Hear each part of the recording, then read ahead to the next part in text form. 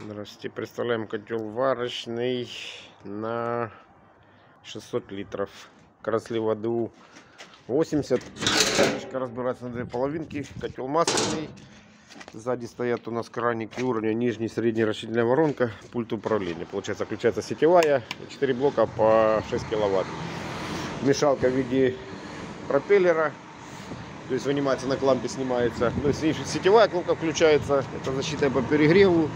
То есть и температурный датчик, температура продукта, температура рубашки. И авария по превышению температуры, мешалка влево-вправо, то есть работает лево-вправо. То есть крышку закрыли, кран слева, ДУ.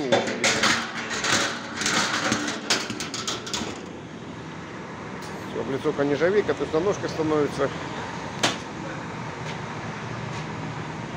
Слив 80 -й.